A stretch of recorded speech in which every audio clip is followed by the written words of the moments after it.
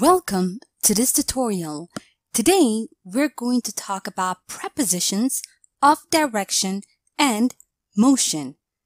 Let's get started. Remember that a preposition is usually a short word used to link nouns, pronouns, or phrases to other words within a sentence. Have a look at the example below. If I'm not mistaken, her birthday is in May. Note that the preposition in in this sentence is used to link the noun May to birthday, her birthday. Now, there are many types of prepositions. Among them are prepositions of direction or motion. Note that these prepositions are used to show movement from one place to the other. Remember that we usually use prepositions of direction or motion when we answer the question beginning with where. Have a look at the example below. Where are you going? I'm going to the supermarket. Note that the preposition of direction or motion to tells us where we're going. The supermarket. Now there are several commonly used prepositions of direction or motion. A. To. To is used to show movement in a specific direction. Have a look at the examples below. I'll head off to work in a couple of minutes. In this sentence, the preposition of direction to tells us exactly where I'm headed. And in this sentence, Kimberly moved to Florida a year ago. Again, the preposition to in this sentence shows Kimberly's movement to Florida, which is a specific direction. Note that you can also use towards in the meaning in the direction of. Have a look at the example here. Why are these policemen running towards Eric? The preposition towards meaning in the direction of Eric. B. Into. Now, into is used to show movement into something, enclosed space, while onto shows movement on top of something, the surface. Have a look at the example below. The dog jumped into the kennel while the cat leaped onto the roof of the kennel.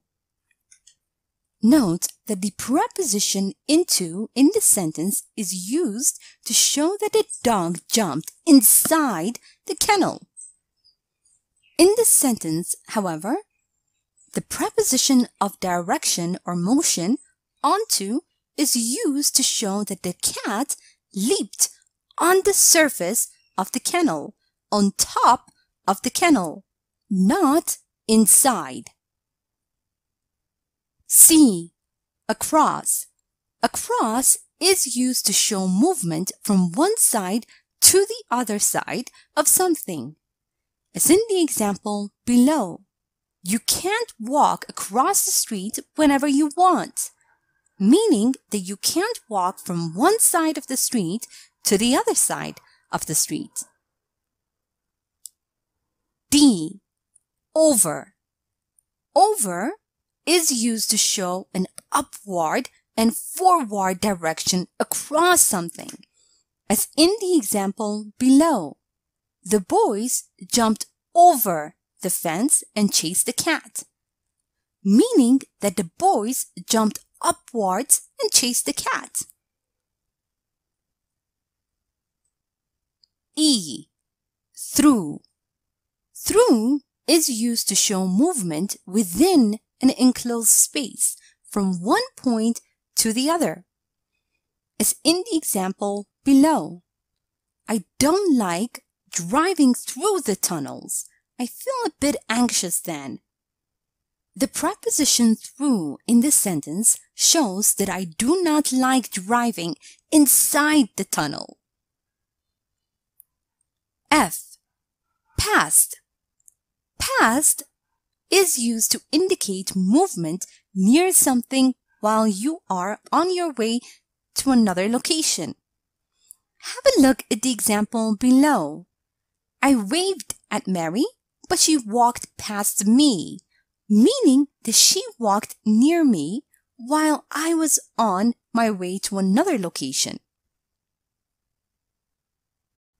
Now let's review the use of prepositions of direction or motion and practice a bit.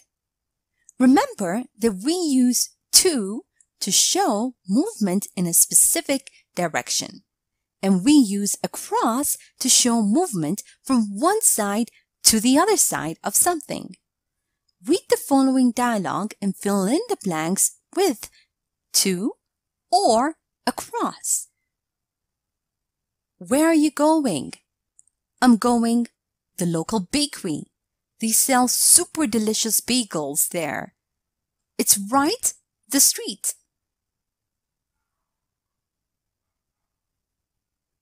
I'm going to the local bakery. They sell super delicious bagels there. It's right across the street. Also remember that we use into to show movement into an enclosed space, while we use onto to show movement on top of something. Read the following text and fill in the blanks with into or onto. My dog jumped the couch next to me right when I opened the bag of jerky and put my hand it My dog jumped onto the couch next to me right when I opened the bag of jerky and put my hand into it. Also note that we use through to show movement within an enclosed space from one point to the other. And we use past to indicate movement near something while you are on your way to another location. Now read the text below and fill in the blanks with through or past. The bike drove right me and I just fell from unexpectedness. But the person didn't stop or anything. He went the park and disappeared.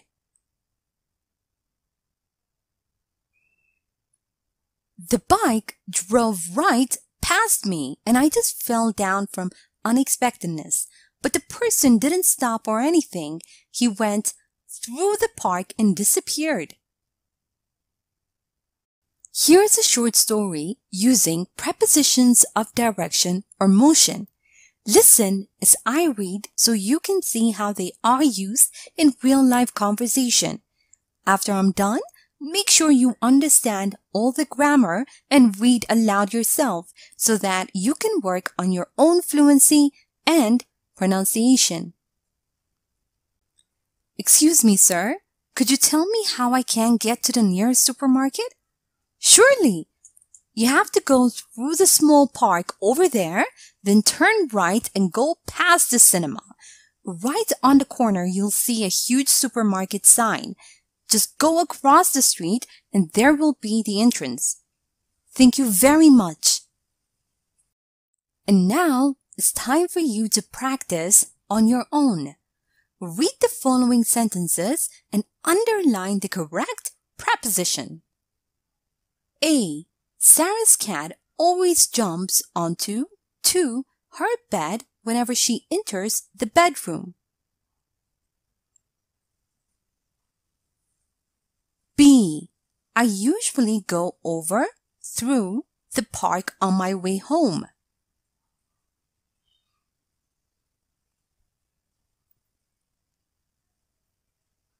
C.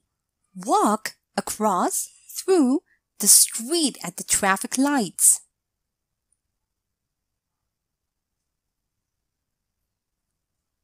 D.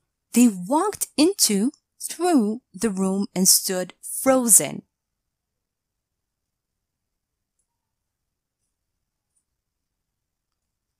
E. You are highly motivated when you are working past towards your goals.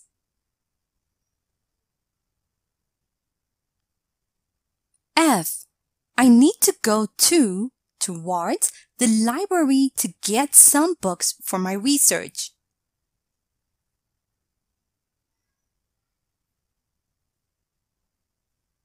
G. This ferry can take you across over the river.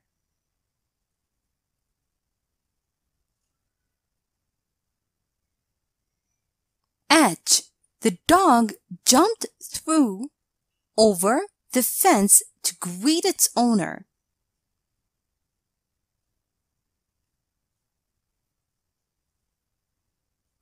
I. Michael usually buys coffee in the morning, but this time he was running late, so he went to past his favorite coffee place.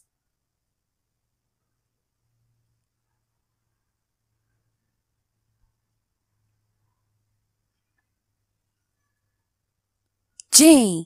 The lady carefully stepped from the train into onto the platform.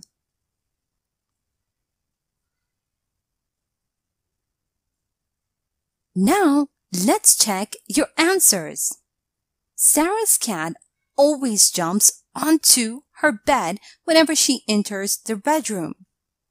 I usually go through the park on my way home walk across the street at the traffic lights. They walked into the room and stood frozen. You are highly motivated when you are working towards your goal. I need to go to the library to get some books for my research. This ferry can take you across the river.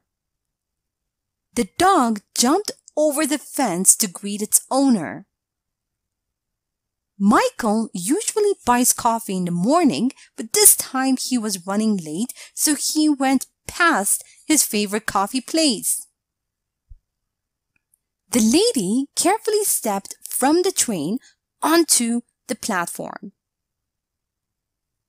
Thank you for watching this tutorial.